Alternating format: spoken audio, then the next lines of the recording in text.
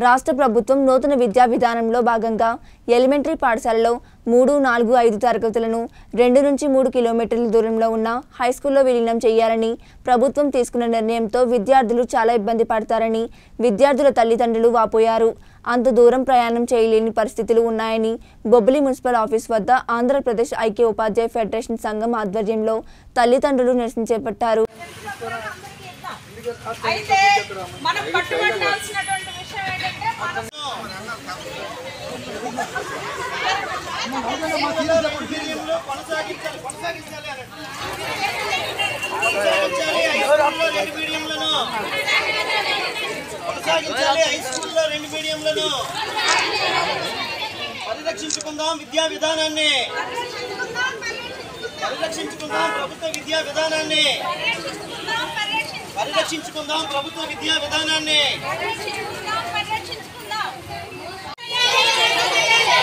చేయాలి నూతన విద్యా విధానాన్ని. రద్దు చేయాలి నూతన విద్యా విధానాన్ని. రద్దు చేయాలి నూతన విద్యా విధానాన్ని. ఆపాలి పాఠశాలల విలీనాన్ని. ఆపాలి పాఠశాలల విలీనాన్ని. ఆపాలి పాఠశాలల విలీనాన్ని. కాపాడండి బాలల హక్కులను. కాపాడండి బాలల హక్కులను. కాపాడండి బాలల హక్కులను. పరిరక్షించుకుందాం. ప్రభుత్వ విధాన ప్రభుత్వ విద్యా విధానాన్ని రక్షించుకుందాం.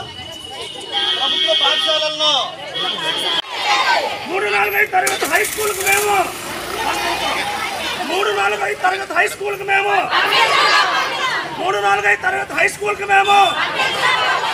మూడు నాలుగు ఐదు తరగతి హై స్కూల్కి మేము. నూతన విద్యా విధానాన్ని. నూతన విద్యా విధానాన్ని. మా ఓట్లో మా పడి మా ఓట్లో మా పడి మా ఓట్లో మా పడి మూడు నాలుగు ఐదు తరగతి హై స్కూల్కు మూడు నాలుగు ఐదు తరగతి నాలుగైదు పిల్లల్ని హై స్కూల్స్ తరలించొద్దని ఆందోళన ఇప్పటికే ఓ నాలుగు రకాల ఆందోళన చేశాము. అయినా మ్యాప్ చేస్తారు ఉత్తర్వులు ఇచ్చారు రేపు జూన్లో పిల్లల్ని హై స్కూల్కి పంపించేస్తారు ఇప్పుడు మల్లంపేట రైల్వే స్టేషన్ పక్కన ఉన్న స్కూల్ తెచ్చి ఇప్పుడు శ్రీరామ్ స్కూల్లో కలుపుతారు జయప్రకాష్ స్కూల్ పట్టుకెళ్ళి గొల్లపల్లిలో కలుపుతున్నారు వల్లభాయిని తీసుకొచ్చి పుట్టి శ్రీరామ్ స్కూల్లో కలుపుతున్నారు. టీపీ స్కూల్ని పట్టుకొచ్చి పుట్టి శ్రీరామ్ స్కూల్లో కలుపుతున్నారు.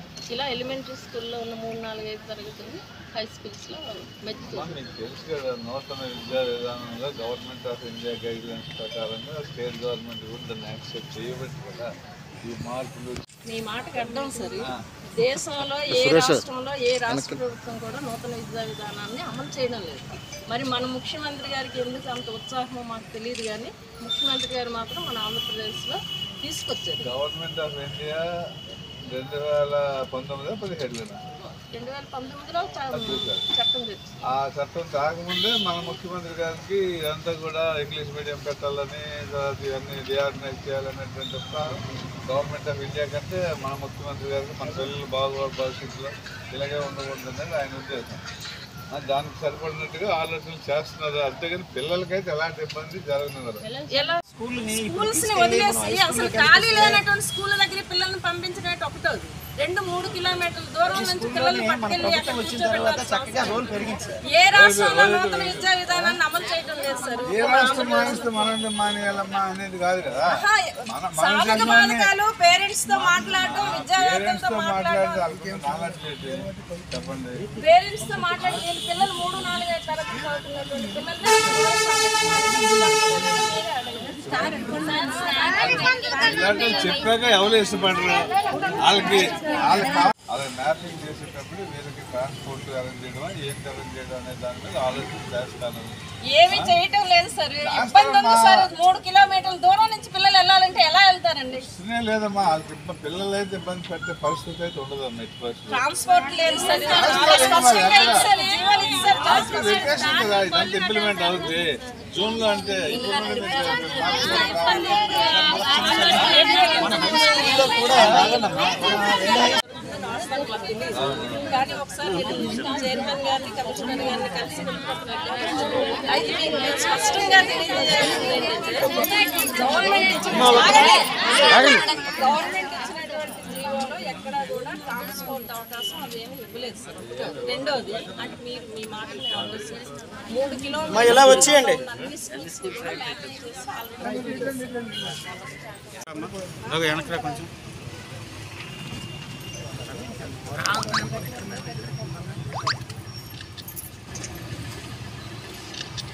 మేడం గారు స్లాగన్ ఇచ్చేయండి మంచి మీరు రాను తెలిపి వెళ్ళిపోవాలి రమేష్ నాయుడు మరి హాల్లోకి వెళ్ళకూడదు ఎక్కడ ఉండిపోవాలి? అన్యాయం జరిగిపోతుంది. రాష్ట్ర వ్యాప్తంగా అన్ని మండల కేంద్రాల్లో మున్సిపల్ కేంద్రాల్లో పేరెంట్స్ ఆంధ్రప్రదేశ్ ఐకోపాధ్యాయ ఫెడరేషన్గా మా సంఘం కలిపి ఈ నిరసన కార్యక్రమాన్ని చేయడం అనేటటువంటిది జరుగుతూ ఉంది. ఎందుకోసం అంటే కేంద్ర ప్రభుత్వం నూతన విద్యా విధానాన్ని చట్టం చేసింది. ఆ చట్టంలో భాగంగా దేశంలో ఏ రాష్ట్రంలో ఏ రాష్ట్ర ప్రభుత్వం అమలు చేయడం లేదు. కానీ ఒక్క ఆంధ్రప్రదేశ్ రాష్ట్ర ప్రభుత్వం మాత్రమే అమలు చేసేటటువంటి పని చేస్తుంది. ఇప్పటికే ఎలిమెంటరీ పాఠశాలల్లో ఉండేటటువంటి మూడు నాలుగు ఐదు తరగతుల పిల్లల్ని రెండు మూడు కిలోమీటర్ల దూరంలో ఉండేటటువంటి హై స్కూల్స్కి పంపించాలని చెప్పి ఉత్తర్వులు ఇచ్చింది.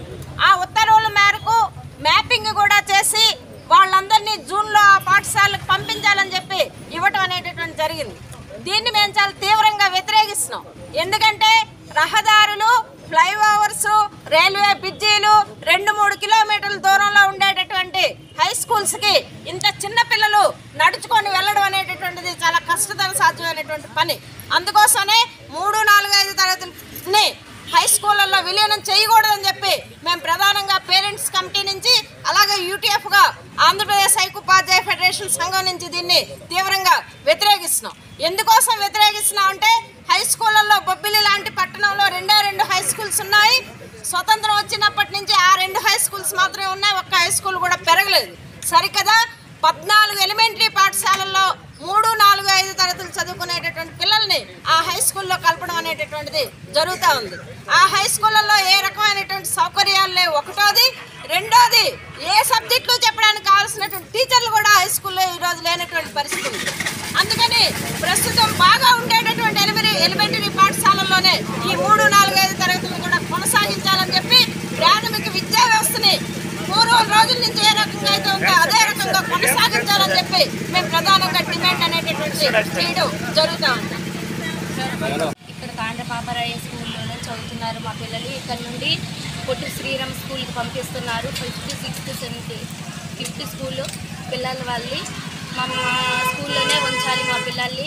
మేము స్కూల్ కూల్ చేసి పనిచేసి బతికేటోళ్ళము ఇక్కడ నుండి అక్కడికి పంపించాలంటే మాకు కష్టం సార్. మేము దీని మీద ఆధారపడి ఉన్నాం. మేము ప్రైవేట్ స్కూల్లో మా పిల్లల్ని జాయిన్ చేయాలంటే మాకు అంత స్తోమత లేదు సార్. మీరు ఇక్కడే మా పిల్లల్ని ఉంచాలని కోరుకుంటున్నాం సార్. మాది పాత బొబ్బులి మున్సిపల్ వెంకటేశ్వర స్కూల్లో మా పిల్లలు థర్డ్ క్లాస్ ఫిఫ్త్ క్లాస్ చదువుతున్నారు. మూడు కిలోమీటర్ల దూరం మా పిల్లల్ని పంపించడం ఇబ్బందిగా ఉంది మా స్కూల్ మా ఊర్లో ఉండాలి. సార్ మాది